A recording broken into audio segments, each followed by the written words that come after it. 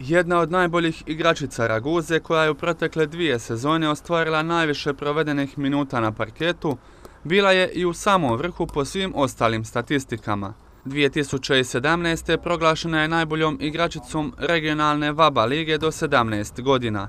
Haklička je nastupala je za mlade uzrasne kategorije reprezentacije Hrvatske.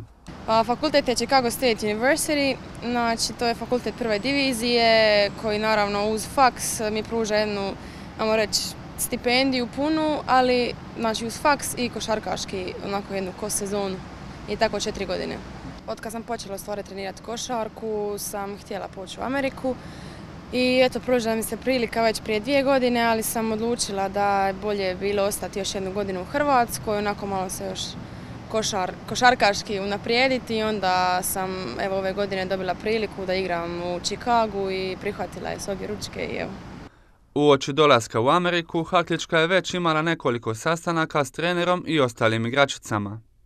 Baš smo jučer imali onako jedan skupni video poziv gdje su se igračice upoznavale zbog cjelokupne situacije i izvještavale su nas, treneri su nas izvještavali o novim događajima u Americi.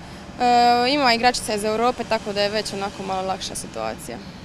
Iako je njena sportska karijera na visokom nivou, Haklička ističe. Trenutno mi je u glavi da završim e, fakultet, e, jer to je ono u stvari što želim od uvijek, a uz to da naravno igram sport koji već godinama igram, tako da kad se to dvoje spoji u jedno, odlična kombinacija.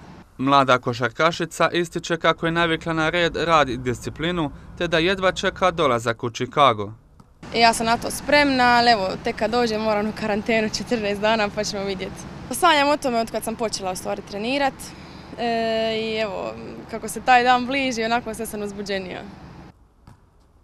19-godišnja Haklička na korak je do ispunjenja sna, a očekuje kako će odlaskom u Ameriku sebe izgraditi dodatno na sportskom, ali i životnom planu.